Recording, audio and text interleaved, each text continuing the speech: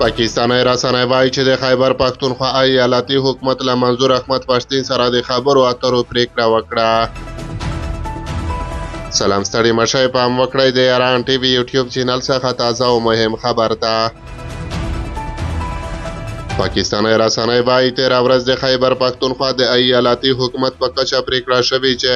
د پښتون ژغورنې غورځنګ له مشر منظور احمد پښتین سره به خبرې اترې کوي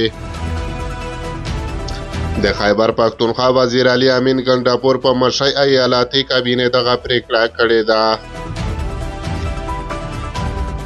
پاکستاني رسنیو نن چهارشنبه د وږي یوویشتمه راپورونه خپاره کړي چې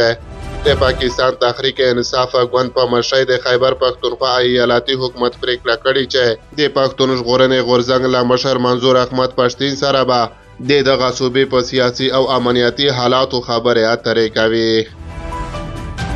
خپله د پښتون ژغورنې غورځنګ په دې اړه لا څه نه دي ویلي خو منظور احمد پښتین مخکې ویلي وو چې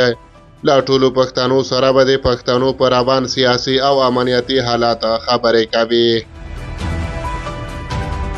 رسنۍ وايي چې د خیبر پښتونخوا وزیر علي امین ګنډاپور ویلي چې په دغه صوبه کې به له بد امنیتي حالت څخه د پښتانو د را ایستلو او امن پر ځای کولو لپاره له منظور احمد پښتین سره هر اړخیزې خبرې اترې کوي. د پښتون ژغورنې غورځنګ مشر منظور احمد پښتین د روان کال د چنګاښ په میاشت کې د دغه غورځنګ د مخکښ غړي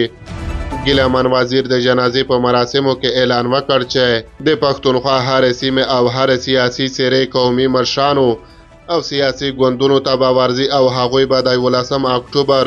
د پښتنو یوې لویې جرګې ته راوبولي چې د ټولو پښتنو روانې ستونزې حل کړي.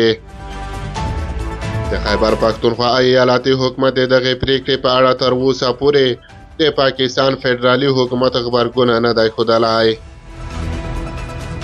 منظور احمد پښتین له دوه زره اتلسم میلادي کال راهیسې د پښتون ژغورنې غورځنګ په اعلانولو سره د پښتنو له حقونو دفاع ته ملا تړلې چې خپل ادای او د دغه غورځنګ نور مخکښه غړي په ځلونو د پاکستان امنیتي ځواکونو نیولي زنداني کړي او په دې شرط یې بیرته خوشې کړي چې نور به له دغې مبارزې لاس اخلي خو لا یې هم له دغې مبارزې لاس نه دی اخیستی.